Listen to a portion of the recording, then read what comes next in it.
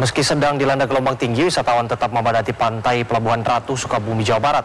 Hingga kini tercatat tiga wisatawan tewas akibat tenggelam, serta belasan lainnya berhasil diselamatkan.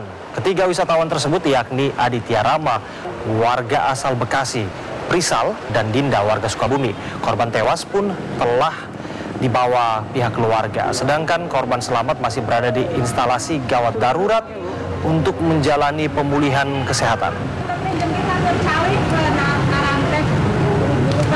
ini obat,